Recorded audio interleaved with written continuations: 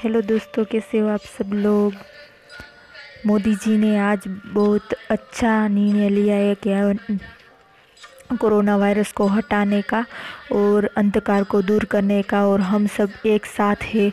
वो हमने आज साबित कर दिया है कि हम सब एक साथ हैं और हमारे गाँव के सभी लोग ने आज दिया जला दिया है और पूरे गाँव आज खुशियों से लहरा रहा है कि कोरोना महामारी यहाँ से जाए और हम सब सुरक्षित हो जाए। और यहाँ हमने दिया, जला दिया है। और हम प्रार्थना भी कर रहे हैं कि ये महामारी से हमको जल्दी ही मुक्ति मिल जाए। और हमारा भारत, हमारा गाँव और हर एक एक इंसान सुरक्षित हो जाए।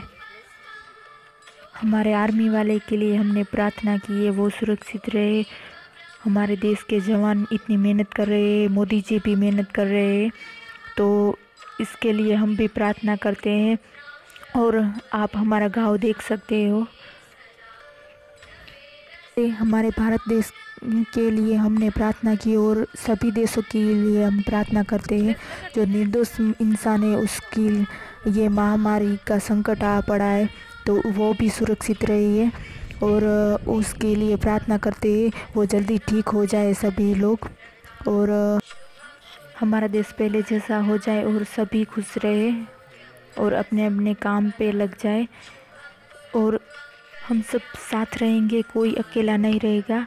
हम सभी भारतवासी एक है और हम सब साथ में रहेंगे, खुशियाँ ले रहेंगे जय भारत, जय हिंद।